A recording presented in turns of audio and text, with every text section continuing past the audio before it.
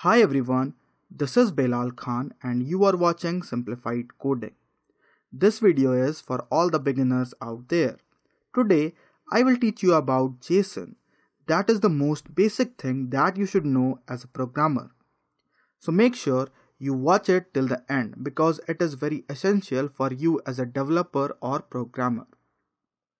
JSON stands for JavaScript Object Notation and it is actually a subset of JavaScript. That means all the JSON that you write is a valid JavaScript code. But it is not a programming language.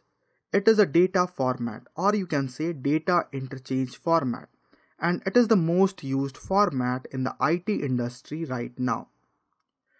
It is easy for humans and for machines to read and generate.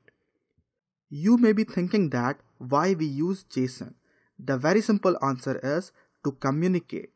We human use some language, maybe Hindi or English or any other language to communicate with other humans. And the same way, computer programs use JSON to communicate with other computer programs. We use JSON to build RESTful APIs and config files. For example, the settings of VS Code. Or if you use Node.js, then there you also have a package.json. So these are the example of config files. And you might have already seen the RESTful APIs that also uses JSON. JSON became very popular because it was extremely lightweight and easy to understand.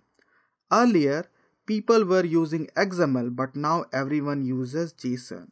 JSON is language independent and almost all the programming languages have the inbuilt functionality to work with JSON. Now let's discuss the data type of JSONs.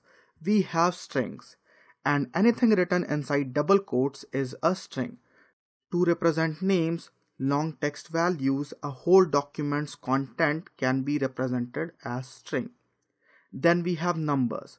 So numbers are any number, a whole number, decimal number, negative number, and you can write it directly in your JSON. Boolean values can have either true or false. And null is defined as null and it means no value is available. Then we have the most important thing which is object. And object is defined with curly braces. And inside object we represent data in key value pairs. One key value pair is one item of the object and the object can have any number of items separated by comma. If you have only one item then comma isn't needed but multiple items are separated by comma.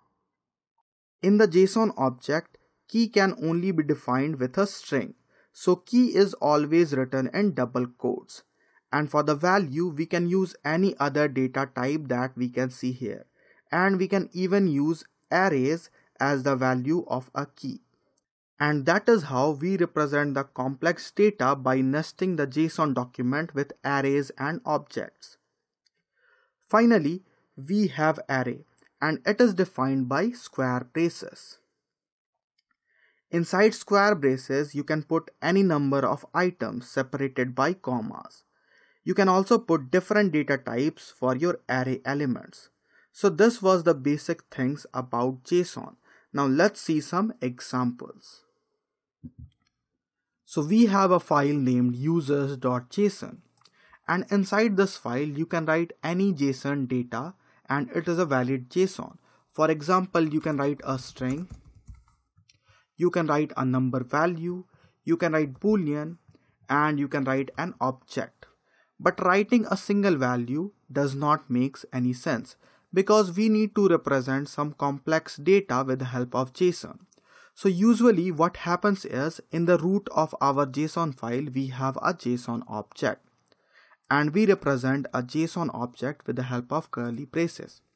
And let's represent a user with the help of this JSON object. So inside this JSON object, the first thing we can have for the user is the user ID. And let's make the ID as 1. Then we can have the username. And username can again be any string, for example, Belal. Then we can have the email of the user So this is how we create a JSON object. Now we can nest this JSON object with arrays and other things as well. For example, this user covers some topics and we can define the topics as a JSON array. So for the key, again we will write a string and topics is the key, but for the value we can write an array. And for the array we use square braces. So this is the array that will define all the topics that are covered by this user. For example, here we can write Kotlin, Java, JavaScript, PHP, and other things.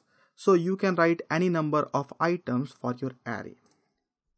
Then we can also define one more complex object and this time we will define all the posts by this user. And for this posts again we can use an array but inside this array we will have the objects this time. So this is an array of objects and for the array item we can also define an object like this. And this object will contain id of the post. So again give it one. Then title of the post let's say learn json. And then content of the post. So whatever content that you want you can put it here. And the same way we can define multiple posts for this user